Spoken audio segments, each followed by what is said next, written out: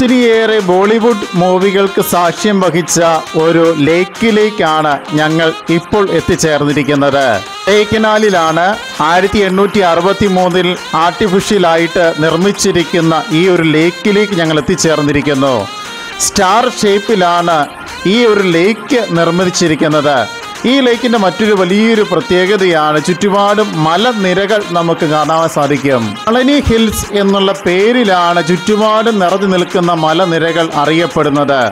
ഈ ഒരു ഭാഗത്തുള്ള വിനോദസഞ്ചാരികളെ ആകർഷിക്കുന്നതിന് വേണ്ടി ഗവൺമെന്റ് തന്നെ ഏർപ്പാട് ചെയ്തിരിക്കുന്ന മിതമായ നിരക്കിലുള്ള ബോട്ടിംഗ് സൗകര്യമുണ്ട് കുതിര സവാരിയുണ്ട് ഷോപ്പിംഗ് നടത്തുവാൻ ആഗ്രഹിക്കുന്നവർക്ക് ഈ ലേക്കിന്റെ സൈഡ് ഭാഗത്തായിട്ട് നിരവധി കടകൾ നമുക്ക് കാണുവാൻ സാധിക്കും.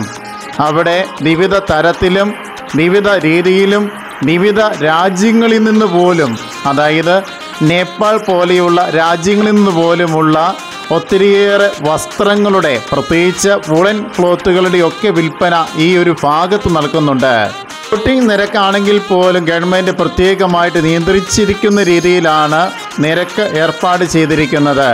ഇവിടെ എത്തിച്ചേരുന്ന വിനോദസഞ്ചാരികൾക്ക് യാതൊരു രീതിയിലുമുള്ള ബുദ്ധിമുട്ടുണ്ടാകരുത് എന്നുള്ള ഉദ്ദേശത്തോടു കൂടി ഇവിടെയുള്ള എല്ലാ ആക്ടിവിറ്റീസിലും ഗവൺമെന്റിന്റെ ഒരു കൈകടത്തലുണ്ട് അതുകൊണ്ട് നൂറ് രൂപ നിരക്കിലുള്ള ഒത്തിരിയേറെ ആക്ടിവിറ്റീസാണ് ഈ ലേക്കിന് ചുറ്റും എനിക്ക് കാണുവാൻ സാധിച്ചത്.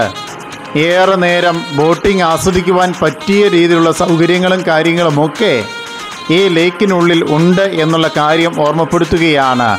കുതിര സവാരി ഇഷ്ടപ്പെടുന്നവർക്ക് യഥേഷ്ടം ഈ ഒരു തടാകത്തിന്റെ ചുറ്റുഭാഗത്തു കൂടി ഈ ഒരു കുതിര സഫാരിയും ചെയ്യുവാനുള്ള സൗകര്യം ഗവൺമെന്റ് നിരക്കിൽ തന്നെ ഏർപ്പാട് ചെയ്യുന്നുണ്ട്.